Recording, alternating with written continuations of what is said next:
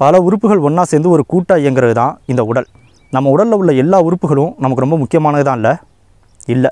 நம்ம உடலில் உள்ள ஒரு சில உறுப்புகள் ஒரு காலத்தில் நமக்கு ரொம்ப முக்கியமானதாக இருந்து பயனுள்ள பல வேலைகளை செஞ்சுக்கிட்டு இருந்துட்டு காலப்போக்கில் இப்போது நமக்கு தேவையில்லாத உறுப்புகளா அல்லது அந்த அளவுக்கு தேவையில்லாத உறுப்புகளா அந்த உறுப்புகள் இல்லைனா கூட நம்மளால் எந்த பிரச்சனையும் இல்லாமல் சாதாரணமாக வாழ முடியுன்ற அளவுக்கு ஒரு முக்கியமற்ற உறுப்புகளாக மாறி போயிடுச்சு. அந்த மாதிரி நம்ம உடலில் தேவையில்லாமல் ஒட்டிக்கிட்டு இருக்கிற ஒரு பத்து உறுப்புகளை பற்றி தான் பார்க்க போகிறோம்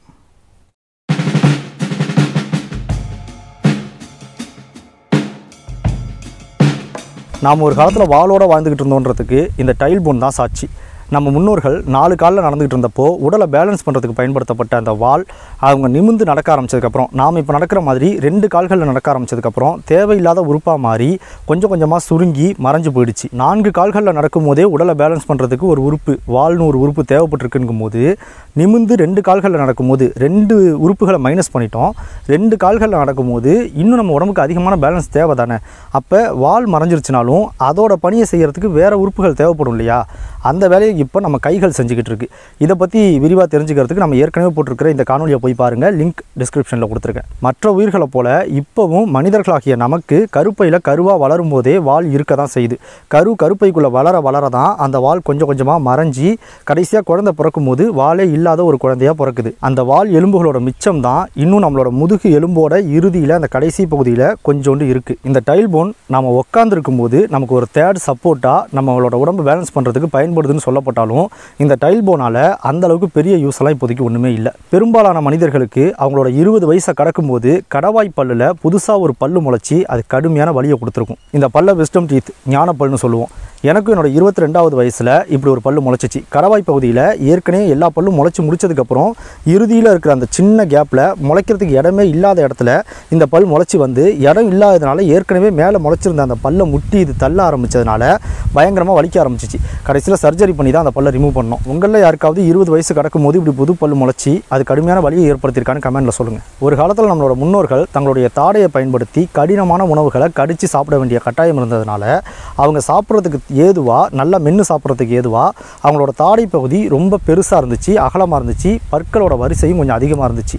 காலப்போக்கில் இப்போலேருந்து ஒரு பன்னெண்டாயிரம் ஆண்டுகளுக்கு முன்னாடி நாம் சமைத்த உணவுகளை அதாவது நெருப்பில் வேக வச்சு மென்மையாக்கப்பட்ட உணவுகளை சாப்பிட ஆரம்பிச்சிட்டோம். இப்படி மென்மையாக்கப்பட்ட உணவுகளை சாப்பிட ஆரம்பித்தனால நம்ம உணவை ரொம்ப சூ பண்ணி மென்னெல்லாம் சாப்பிட வேண்டிய அவசியம் இல்லாமல் போயிடுச்சு. அதனால் நம்மளோட தாடையோட அமைப்பு கொஞ்சம் சுருங்கி போயிடுச்சு. தாடையோட அந்த அளவு ரொம்ப சுருங்கி போயிடுச்சு.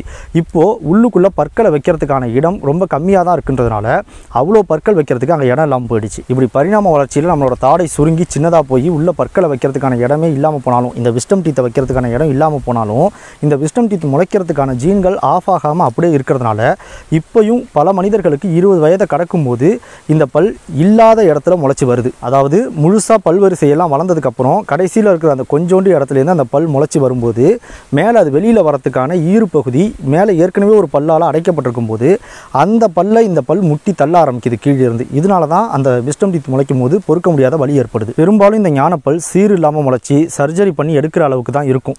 அப்படியே இந்த பல் கொஞ்சம் நேராக முளைச்சிட்டாலும் கொஞ்சம் கிராஸாக அந்த மேலே உள்ள பற்களை முட்டாமல் முளைச்சிருச்சுனாலும் இந்த பல்லால் எந்த யூஸுமே இல்லை. பல் வளர்க்குறப்போ சில பிரச்சனைகள் பிரச்சனைகளையும் உணவை சாப்பிடும்போது அந்த உணவு போய் மாட்டிக்கிற பிரச்சனையையும் அதிக வலியையும் தவிர இந்த ஞானப்பல் வேறு எதையும் கொடுக்கறதில்ல. அப்பெண்டிக்ஸ் ஆப்ரேஷன் இதை எல்லாருமே கேள்விப்பட்டிருப்பீங்க.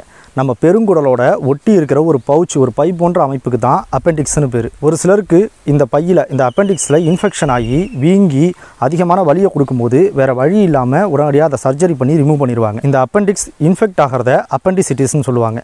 இதை ரிமூவ் பண்ணுற அந்த சர்ஜரிக்கு அப்பெண்டக்டோமின்னு பேர். ஒரு காலத்தில் நம்ம முன்னோர்கள் பச்சை இலைத்தழைகளை சாப்பிட்டுக்கிட்டு இருந்தப்போ அதை செரிமானம் பண்ணுறதுக்கு இந்த அப்பெண்டிக்ஸ்ன்ற இந்த பவுச் பயன்பட்டுச்சு. இப்போவும் முதுகெலும்புள்ள பல பாலூட்டிகளுக்கு தாவர உண்ணி பாலூட்டிகளுக்கு இந்த அப்பெண்டிக்ஸ் செயல்பாட்டில் தான் இருக்குது கால காலப்போக்கில் நம்ம சமைத்த உணவுகளையும் மாமிச உணவுகளையும் உண்றதுக்கு பழகிக்கிட்டோம். அப்படி பழகினதுனால இந்த பச்சை இலைத்தழைகளை அப்படியே சாப்பிட்றத நம்ம நிறுத்திட்டோம்.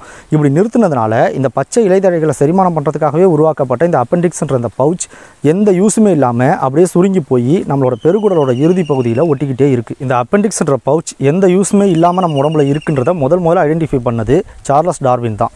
ஆனால் ரெண்டாயிரத்தி ஒன்பதில் தான் இந்த அப்பெண்டிக்ஸால் ஒரு சின்ன யூஸ் இருக்குன்றதை கண்டுபிடிச்சாங்க. நம்ம உடலுக்கு நன்மை செய்யக்கூடிய பாக்டீரியாக்கள் வாழக்கூடிய இடமா இந்த அப்பெண்டிக்ஸ் இருக்குன்றதை ரெண்டாயிரத்தி ஒம்பதில் தான் கண்டுபிடிச்சாங்க. இந்த பாக்டீரியாக்கள் நமக்கு ஏதாவது செரிமான பிரச்சனை ஏற்படும் போது உடனடியாக செயல்பட்டு செரிமான கோளாறை நிவர்த்தி செய்யறதுக்கு பயன்படுதான். என்னதான் இந்த அப்பெண்டிக்ஸ் பவுச்சால் நமக்கு ஒரு யூஸ் இருந்துச்சுனாலும் முன்னாடி நமக்கு பயன்பட்ட அளவுக்கு இப்போது இந்த அப்பெண்டிக்ஸ் நமக்கு பயன்படுறது இல்லை இப்போ இந்த அப்பெண்டிக்ஸை வெட்டி எடுத்துட்டா கூட நம்மளால் எந்த பிரச்சனையும் இல்லாமல் திடமாக வாழ முடியும். நம்ம காதுகளை சுற்றி உட்புறமாக இருக்கக்கூடிய மசில்ஸ் எந்த விதமான ஆக்டிவேஷனும் இல்லாமல் சுயமாக இயங்க முடியாமல் இப்போ முடங்கி போயிருக்கு. ஆனால் ஒரு காலத்தில் பல மிருகங்களை போல நம்ம காதுகளை எல்லா பக்கமும் திருப்பி நமக்கு வரக்கூடிய ஆபத்துகளை சத்தத்தை வச்சே முன்கூட்டியே உணர்த்தக்கூடிய ஒரு முக்கியமான வேலையை இந்த மசில்ஸ் பண்ணிக்கிட்டு இருந்துச்சு. மற்ற விலங்குகளை போல தங்களுடைய காதுகளை இப்படி தன்னிச்சையாக அசைக்கக்கூடிய ஒரு சில மனிதர்களை நீங்கள் இப்பவும் பார்த்துருக்கலாம். ஒரு மனிதன் தன்னுடைய காதுகளை இப்படி தன்னிச்சையாக அசைக்கிறத பார்க்கும்போது நமக்கு உள்ளுக்குள்ளே ஒரு சந்தோஷம் இருக்கும். அது ஒரு வேளை நம்ம முன்னோர்களை நமக்கு நினைவூட்டுறதுனால கூட இருக்கலாம். ஆனால் இப்போதைக்கு இந்த காதுகள் அசைக்கப்படுறதுனால எந்த யூஸுமே இல்லை தான் நம்ம உடல் முடிகளோட வேறு பகுதியில் இணைக்கப்பட்டிருக்கிற டைனி மசில்ஸுக்கு எரக்டர் பில்லின்னு பேர். நமக்கு ஏதாவது ஒரு ஆபத்து வரும்போது இந்த மசில்ஸ் வேகமாக சுருங்கும். இது இப்படி சுருங்கும் போது இதோட இணைக்கப்பட்டிருக்கிற நம்மளோட முடிகள் செங்குத்தாக தூக்கிக்கிட்டு நிற்கும். இதை நாம் கூஸ் பம்ப்ஸ்னு சொல்லுவோம். காட்டுக்குள்ளே வாழ்ந்த நம்ம முன்னோர்களுக்கு ஒரு காலத்தில் பெரிய அளவில் பயன்பட்ட இந்த கூஸ் பம்ப்ஸ் இப்போ நமக்கு தேவையில்லாத ஒன்றா இப்போவும் அதோட பணியை செஞ்சுக்கிட்டே இருக்குது காட்டுக்குள்ளே ஒரு உயிரினம் இன்னொரு உயிரினத்தை வேட்டையாடுறதுக்காகவோ இல்லை சண்டைக்காகவோ அட்டாக் பண்ண போகும்போது அந்த உயிரினத்தோட முடிகள் எல்லாம் எரக்டர் பிளி காரணமாக இப்படி தூக்கிக்கிட்டு போகிறதுனால அந்த உயிரினத்தோட அளவு கொஞ்சம் பெருசாக தெரியும். இப்படி பெருசாக தெரியறதால அட்டாக் பண்ண வந்த உயிரினம் நம்மளை விட பெருசாக இருக்கிற இந்த உயிரினத்தை அட்டாக் பண்ணுறது தப்பு அப்படின்னு நினச்சி அந்த உயிரினத்தை அட்டாக் பண்ணுறதை தவிர்த்துட்டு போயிடும். காட்டுக்குள்ளே உள்ள மிருகங்களுக்கு மட்டும் இல்லை நம்ம வீட்டில் வளர்க்குற பூனைகள் நாய்கள் கோழிகளுக்கு கூட இறகுகளும் முடிகளும் இப்படி தூக்கிக்கிறத நம்மளால் பார்க்க முடியும். ஆபத்து வர காலங்களில். மிருகங்களுக்கு இப்போவும் பயன்பட்டுக்கிட்டு இருக்கிற இது ஒரு காலத்தில் நம்மளோட முன்னோர்களுக்கு காட்டுக்குள்ளே வாழ்கிறப்ப பயன்பட்டுக்கிட்டு இருந்திருக்கலாம். ஆனால் இப்போது இந்த எரக்டர் பிள்ளையால் நமக்கு எந்த யூஸுமே இல்லை. முடிகள் இப்படி தூக்கிக்கிறதுனால மனிதன் ஒன்றும் பெரிய உருவமாலாம் தெரியறதில்ல. அதனால் இப்போது நமக்கு இந்த எரக்டர் பிள்ளி தேவையில்லாத ஒன்று தான் ஆனால் இந்த எரக்ட்ரோபிளி மசில்ஸால் இப்போ நமக்கு ஒரு யூஸும் இருக்குது நம்ம உடம்பு அதிகமாக குளிர்வடையும் போது இந்த எரக்ட்ரோபிளி மசில்ஸ் வேகமாக சுருங்கி நம்ம உடம்பை வெப்பப்படுத்துறதுக்கு முயற்சி பண்ணுதான். இது ஒரு அளவுக்கு நமக்கு யூஸ்ஃபுல்லாக இருந்துச்சுனாலும் இந்த எரக்ட்ரோபிளி மசில் சுருங்கும் போது முடிகள் பழைய மாதிரியே செங்குத்தாக வரதுன்றது நமக்கு தேவையில்லாத ஒரு துணை நிகழ்வு தான் உங்களோட கைகளை ஒரு சமதள பரப்பில் ஒரு டேபிள் மேலே இப்படி வச்சுட்டு உங்களோட கட்டை விரலையும் சுண்டு விரலையும் இப்படி ஒன்றா சேர்த்திங்கன்னா உங்களோட இந்த மணிக்கட்டுக்கு கீழே ஒரு சதைப்பகுதி புடைப்பாக தெரியும். இதுக்கு பல்மரிஸ் மசில்னு பேர். இந்த மசில் இந்த மணிக்கட்டிலேருந்து இந்த கை மூட்டு வரைக்கும் நீண்டு வரும். ஒருவேளை உங்களோட கைகளில் இந்த பல்மரி மசில்ஸை தேடி கிடைக்கலனாலும் கவலைப்படாதீங்க. அது இருந்தாலும் அதால் இப்போ எந்த யூஸுமே இல்லை. உலகத்தில் உள்ள பதினோரு சதவீத மனிதர்களுக்கு அந்த பல்மரி மசில்ஸ் இப்போ இருக்கிறதில்ல. மறைஞ்சு போயிடுச்சு. நம்ம முன்னோர்கள் மர கிளைகளை தங்கள் கைகளால் பிடிச்சி ஏறின போதும் தாவின போதும் அந்த கிளைகளுக்கு கிளைகள் கைகளாலேயே பயணிச்சுக்கிட்டு இருந்த போதும் இந்த மசில்ஸ் கைகளுக்கு வலிமையை கொடுக்கறதுக்கு தேவைப்பட்டுக்கிட்டு இருந்துச்சு. ஆனால் இப்போ நாம் மரத்துக்கு மரம் தாவறதில்ல. அடிக்கடி மரம் ஏறுறதில்ல. தரையில் ரொம்ப ஸ்மூத்தாக நடந்து போயிட்டு இருக்கோம். அதனால் இந்த பல்மரி மசில்ஸ் இப்போ பெரும்பாலான மனிதர்களுக்கு மறைஞ்சிக்கிட்டு இருக்கு. பெரும்பாலான மனிதர்களுக்கு அவங்க காது மடலோட மேற்புறத்தில் கூறாக கொஞ்சம் மடங்குன நிலையில் ஒரு பாயிண்ட் இருக்கும். இந்த பாயிண்ட்டுக்கு டார்வின்ஸ் பாயிண்ட்னு பேர். ஒரு காலத்தில் இந்த டார்வின் பாயிண்ட் இவ்வளோ சின்னதாக இல்லை. இன்னும் பெருசாக இன்னும் கூராக இருந்திருக்கு. இந்த பாயிண்ட் தூரத்துலேருந்து வர ஒளிகளை ஃபோக்கஸ் பண்ணி உள்வாங்கி அனலைஸ் பண்ணுறதுக்கு நம்மளோட முன்னோர்களுக்கு பயன்பட்டுக்கிட்டு இருந்திருக்கு. இப்போவும் பல ஏப்ஸுக்கு இந்த டார்வின் பாயிண்ட்ஸ் இருக்குது இப்போ நமக்கு தூரத்தில் புலி வர சத்தத்தை காதில் வாங்கிட்டு தலைதறிக்க ஓடணுன்ற அவசியம் இல்லாமல் போனதுனால இந்த பாயிண்ட் இப்போ சுருங்கி போச்சு. நம்ம தோள்பட்டைக்கு பின்புறமாக முதல் விழா எலும்போட அந்த ஃபர்ஸ்ட் ரிப் கேஜோட ஒரு தசை நார் இணைக்கப்பட்டிருக்கும். இந்த தசை நாருக்கு சப்கால்வியஸ் மசில்னு பேர். இந்த சப்கால்வியஸ் மசில் நாம் நாலு கால்களில் அதாவது நம்மளோட ரெண்டு கைகளையும் பயன்படுத்தி குரங்குகளை போல் மற்ற மிருகங்களை போல் நாம் தரையில் ஊனி நடந்தப்போ நம்மளோட இரண்டு கைகளுக்கும் பலத்தை கொடுக்கறதுக்காக அந்த சப்கல்வியஸ் மசில்ஸ் பயன்பட்டுக்கிட்டு இருந்திருக்கு. ஆனால் இப்போ நாம் நடக்கிறதுக்கு நம்ம கைகள் பலமாக இருக்கணும்னு அவசியம் இல்லை கால்கள் பலமாக இருந்தாலே போதும். இப்போ நம்ம நடக்கும்போது நம்ம கைகள் நம்ம உடலை பேலன்ஸ் பண்ணுறதுக்காக சும்மா ஆடிக்கிட்டு தான் இருக்குது அதனால் இந்த சப்கல்வியஸ் மசில்ஸ் எந்த யூஸுமே இல்லாமல் இன்னும் மறையவும் இல்லாமல் அதே இடத்துல அப்படியே இருக்குது ஒருவேளை மனிதர்கள் தங்களுடைய கைகளை பயன்படுத்தி இன்னும் கடினமான வேலைகளை செய்கிறதுனால எப்படியும் கைகளுக்கு ஸ்ட்ரென்த் தேவைதான்றதுனால கூட அந்த மசில்ஸ் மறையாமல் அப்படியே இருக்கலாம். இப்போவும் நீங்கள் தண்டால் எடுத்தீங்கன்னா இந்த மசில்ஸ் ரொம்ப யூஸ்ஃபுல்லாக இருக்கும். நம்ம புருவங்களில் உள்ள முடிகள் வியர்வையிலேருந்து நம்ம கண்களை பாதுகாக்குது.